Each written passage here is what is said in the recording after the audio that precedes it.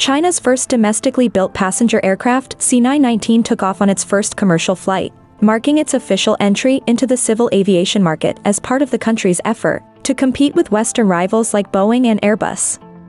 The first commercial flight of C919 from Shanghai to Beijing is carried out by state-run China Eastern Airlines.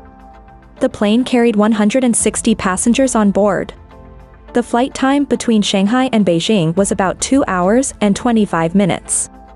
The C919 is developed by the Commercial Aircraft Corporation of China's COMAC, and it was granted a type certificate by the Civil Aviation Administration of China last September the plane conducted a successful maiden flight in 2017. In the following years, the C919 conducted several test flights in different locations to test its capabilities. The C919 has gone through tests in various types of extreme natural environments, including high temperature, high humidity, severe cold, gusts, and freeze. Its safety, reliability, and environmental protection performance have been comprehensively assessed. On December last year, the first C919 aircraft was delivered to its first customer, China Eastern Airlines.